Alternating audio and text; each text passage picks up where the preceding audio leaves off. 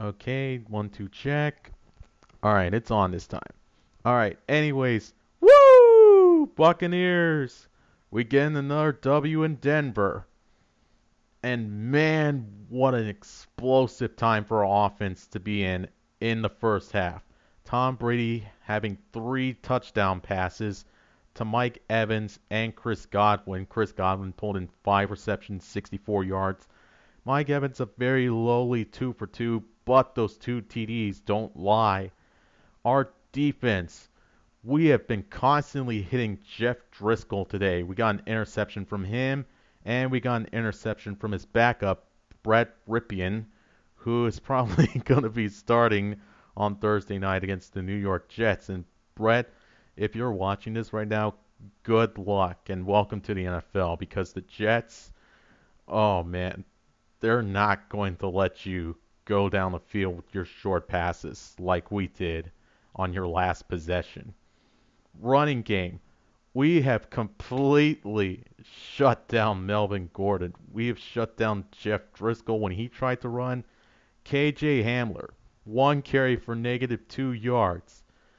Ronald Jones and Leonard Fournette, on the other hand, are combining for 68 yards on the ground. Sure, there were no touchdowns, but what there really need to be because we beat the Broncos 28 to 10. We got a safety. We got a blocked punt at the start that we took advantage of with Chris Godwin.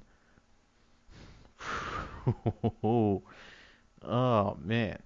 When we look back at that blocked punt and we recovered it too, it just really set the tone for what the game was going to be like.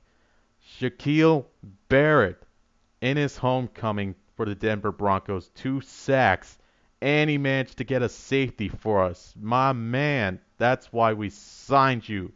That's why we kept you to a franchise tag. Keep making plays like that, and you're going to be an honorary buck in no time. Mike Edwards for 30 yards on an interception late in the game. And Lavonte David with quarterback pressure from Jeff Driskel getting hit. Ball was wobbling up in the air. Interception. Good on you guys. Good on you. Vita Vea. One one sack.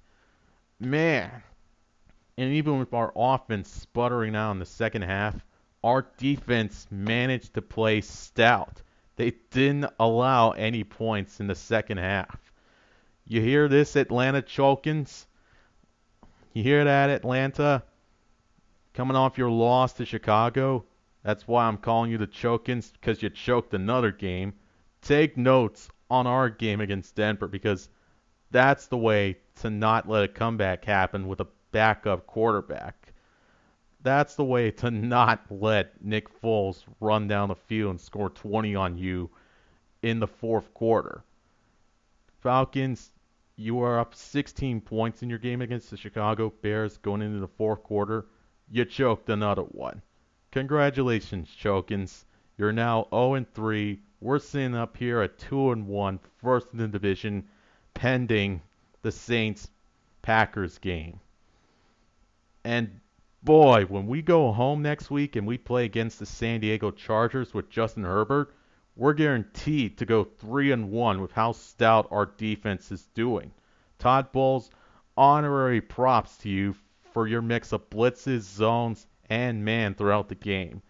Holding Denver to 10 points like that. Props to you, man. Props to you.